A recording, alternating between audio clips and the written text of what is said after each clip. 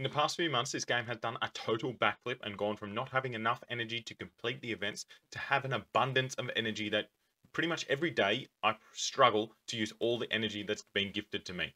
Like I just claimed all of mine from the Valhalla Pass all the way up to level 120. I hadn't even claimed past level 81. I just got 3,000 extra energy dumped into my stamina pot right there. So what do you do with all of this energy? There's different times of the months where you're going to be focusing on different parts so that you're maximizing the most rewards that you're getting out of this energy. In the middle of the month, when we are having this war festivities or whatever it's going to be called at that time of the month when it comes back around, you are definitely going to be focusing on the maze. 100% doing all maze until you cap this out at 200 per day. This means you should do between 700 and 1000 energy in the maze you can do it in campaign if you want, if you're up to chaos. It's going to take about the same amount of energy, maybe a bit less in the maze because your final run, you can get three of these resources per run, which is a little bit better stamina wise to resources. But the biggest benefit about doing the maze, it is 100 times quicker than doing campaign. Campaign takes ages to do a run, especially when you're going to do the chaos. It takes so much longer, whereas you come in here, do a maze, Maze of Gold, if you can do stage 20, even 19, 18, or 17, you have a chance of getting three per run. And when we do a battle here, you'll see it is so much quicker than a campaign. You should know this already anyway.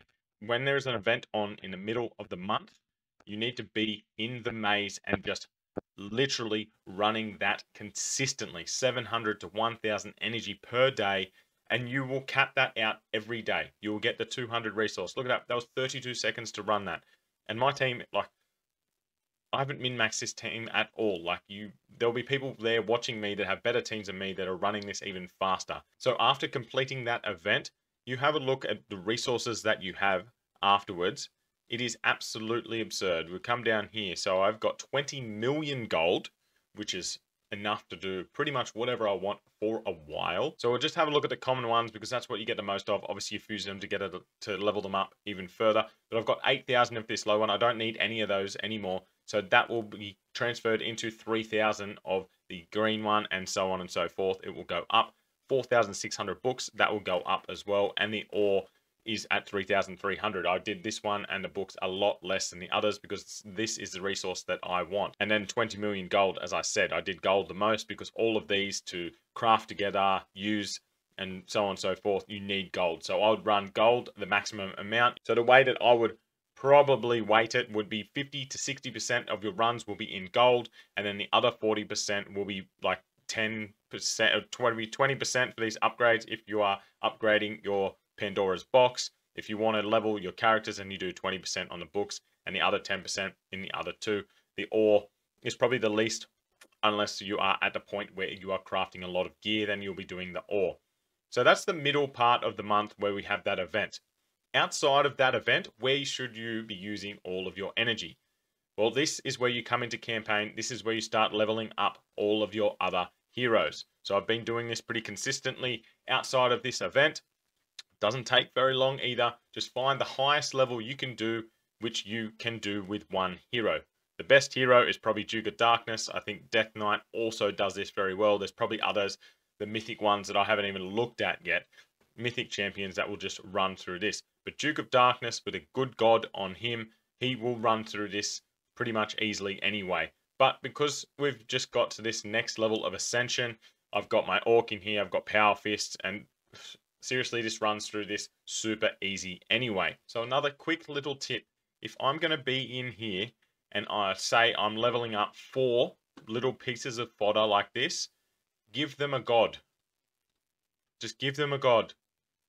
Doesn't matter what god it is, doesn't matter what it is. Obviously, the people at the front line, you may as well give them gods that will help them stay alive. They should probably be swapped, but whatever.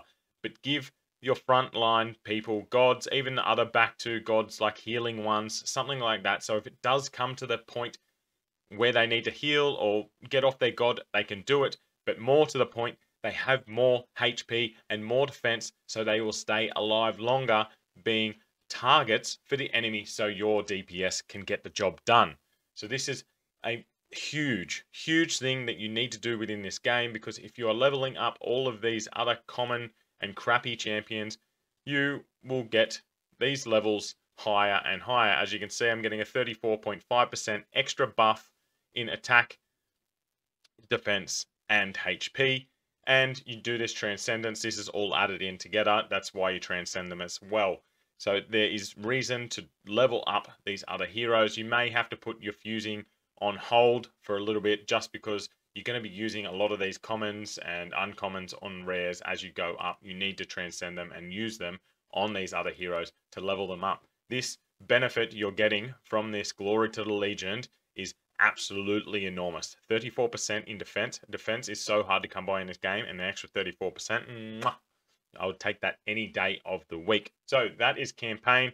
You will not run campaign really whilst this event is on, unless you want to progress further in the campaign. I wouldn't really waste my energy in campaign whilst the event is on. So once you have hit your cap during the event, or you kind of got over campaign and you want to run the, something a little bit quicker to get rid of your energy even faster, this is when I need to go and do Hall of the Gods. There was a stage where I think a lot of people would have got most of their gods maxed out because you got to the five star, they were level 60, all done and dusted. Now that you can go up to level 80 or whatever it is, you're going to have to get back into this gods a lot more. So when I want to run through my energy really fast and I've capped out my event, I've got a lot of resources that I want, that is when I come into the gods. Or I just can't be bothered to run campaign or I don't have time to run campaign because campaign takes so long because you use so little energy when running through it. This is when I come into the Hall of the Gods and I just do the highest one I possibly can. I can clear them all at the moment. I have so many of these sunstones. Surely there's something you can do with them other than enhancing your gods, but I haven't looked into that too far yet. You will end up with lots of them, but you need so many of those pots and the earrings, the necklaces, and rings are really, really sought after. They're some of the best parts of gear that you can put onto your heroes. So you're going to be wanting to craft a lot of those eventually anyway. These accessories, obviously I need a lot more ore. I need to like craft them up so I can do it. But you want to be crafting a lot of these legendary rings, earrings, and necklaces because once you get one of the enhanced ones, I can't remember what they're called, one of these like extra ones that have the extra skill, like this right here, increasing the hero's skill level by 4. His skill is at level 9 right now. 9. The ultimate charge increased by 10% for every crit. Like, he is critting consistently. He is getting his ultimate off so quickly, it is not funny. So these are the pieces you're going to be looking for, and this is why you need to go and do Hall of the Gods pretty consistently all month round because you do always need pots to level up your gods. You need the materials to craft those accessories, but then make sure you're running the event during the event, and then outside the event, you run campaign. That's kind of how I divvy up my energy right now. I've got 3,000 energy sitting there right now. I'm going to run a fair bit of campaign right now in the background while I'm editing a video and doing whatever. And then once I get over it, or I'm going to run it overnight, then I'll jump into my challenge and do more Hall of the Gods. But that is how I use energy. Hopefully that helps you in the future, and I'll see you in a video soon.